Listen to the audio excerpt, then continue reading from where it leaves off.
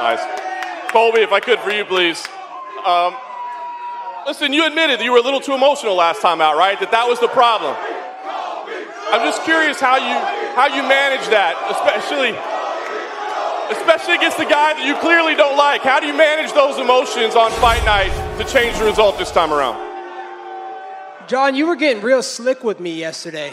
You're a clickbait merchant. You were saying I was undeserving and didn't deserve to be up here. Well, guess what? You're He was undeserving right. of getting an answer from me. He if you was want an answer from me, get down and give me 10 push-ups right. right. now. Get on your hands and knees. What? You want a question? 10, 10 push-ups, flabby butt. Oh, Easy after all there, these killer. years, Easy there. All these years. Enunciate. Shut up, Marty. They didn't come to see you, bitch. They came to see me. Enunciate. Easy there. Easy. Hey, Marty. Take Is it your slow. dad? Hey, hey, Marty. Breathe. Is your daddy the three. jailbird coming on Saturday night? Breathe. I got to hook up with law enforcement. If you want me to call his parole officer, I'll make sure he can come on Saturday night. You want me to make sure?